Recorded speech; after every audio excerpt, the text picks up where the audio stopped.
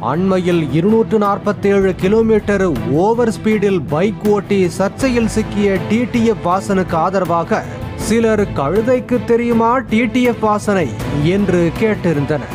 அப்படி தெரிந்தால் டிடிஎஃப் வாசனுக்கு என்ன மாதிரி நிலை வரும் என்று கலாய்த்து இந்த காணொளியை சிலர் சமூக வலைத்தளங்களில் பகிர்ந்து வருகின்றனர். பாலிமர் செய்திகளுக்காக செய்தியாளர்